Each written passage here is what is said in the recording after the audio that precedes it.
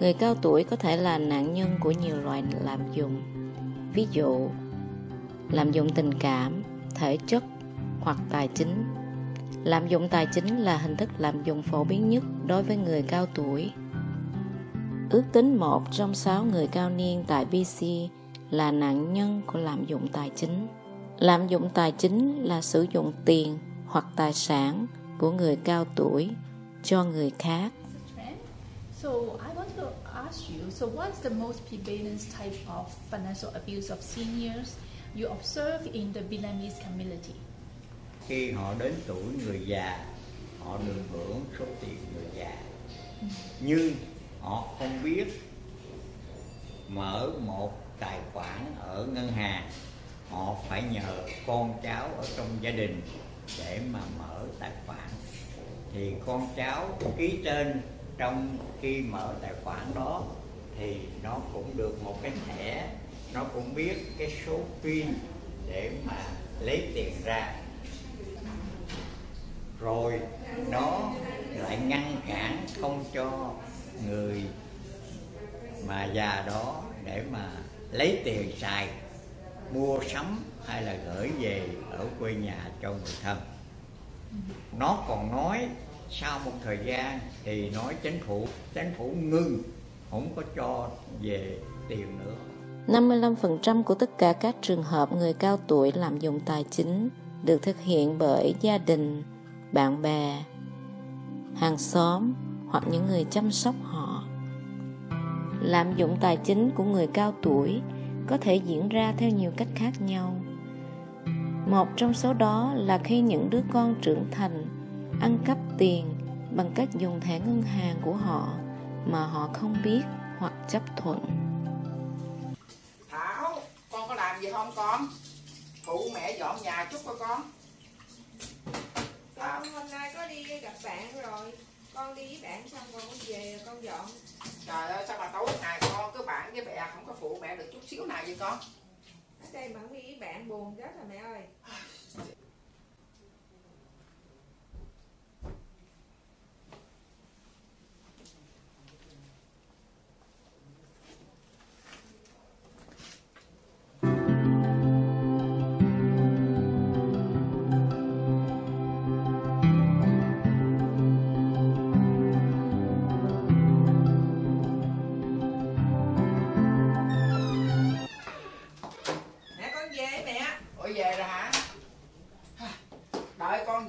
xong hết rồi.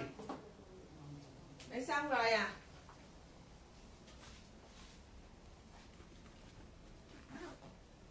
Tối không ăn gì?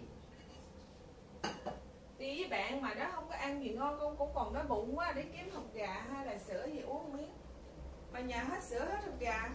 Sao mẹ không đi chợ mẹ? Có thì giờ đâu mà đi tối ngày dọn cái nhà không nhờ con chút xíu mà con cũng không được. Á. giờ con trong đó có gì không?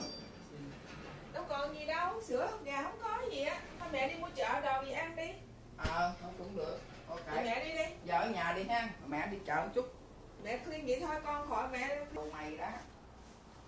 Ok giờ mẹ đi nha. Mẹ đi nhanh về Ừ, mẹ. ừ. con chờ ở nhà. Rồi được rồi. Để mẹ đi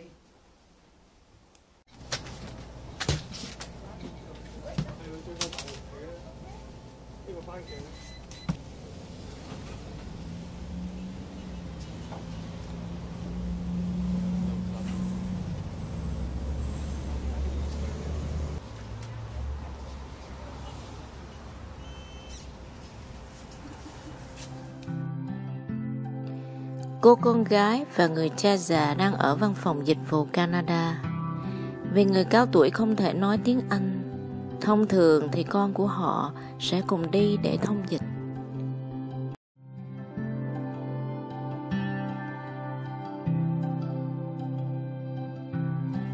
Người cha già bị áp lực phải ký vào những tài liệu mà ông không hiểu.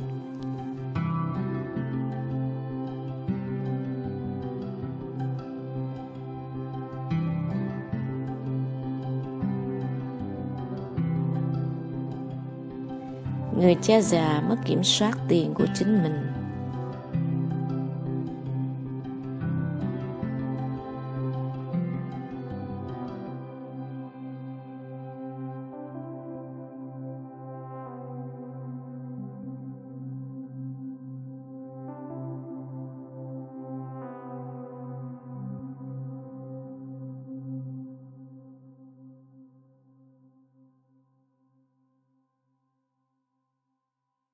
Coi đây là mấy tuần rồi mà tiền đó nó về tiền già của ba nó về nhà chưa con?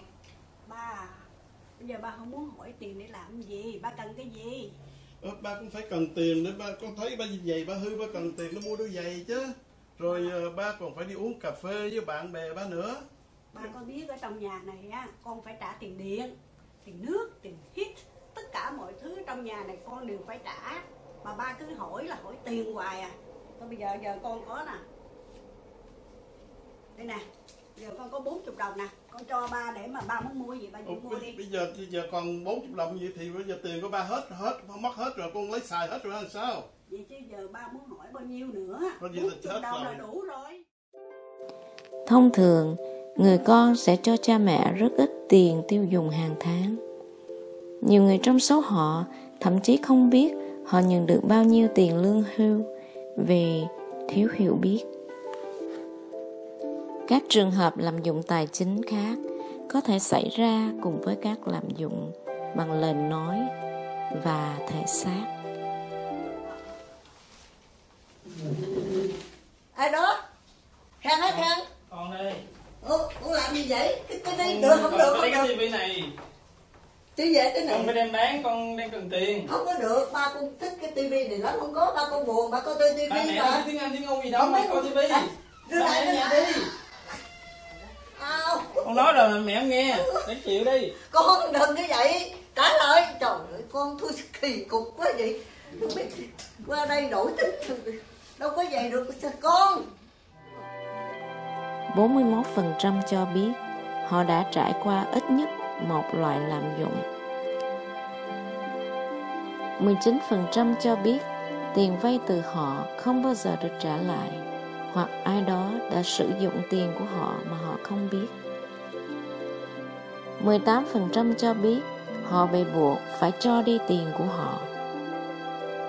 12% người nói rằng họ đồng ý làm công việc với một mức giá cố định, sau đó họ không hoàn thành và ép buộc người cao tuổi phải trả thêm tiền để làm nốt.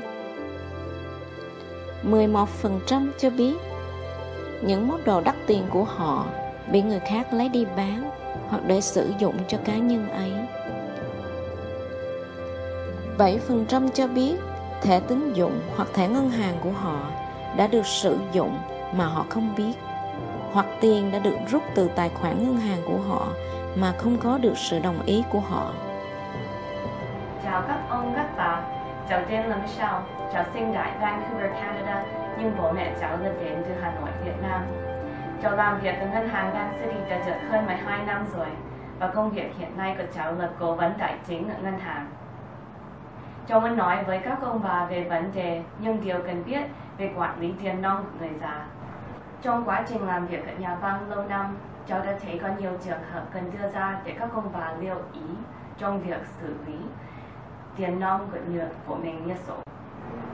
Một là cho người khác chung tên vào sổ ngân hàng của mình. Có những người già do không hiểu rõ về điều lệ ngân hàng nên đã có tên cho tên con cái hoặc người thân khác chung tên vào sổ ngân hàng của mình. Làm như vậy thì người kia sẽ có quyền tự ý rút tiền trong sổ của các ông bà mà không cần nói trước với các ông bà biết.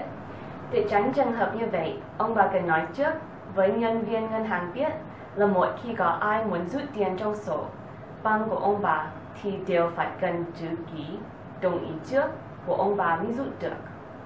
Đồng thời, các ông bà cũng nên biết là sổ chung tên với người khác thì nếu người nếu một người mất đi có thể toàn bộ số tiền còn lại trong sổ sẽ hoàn toàn thuộc về người còn lại.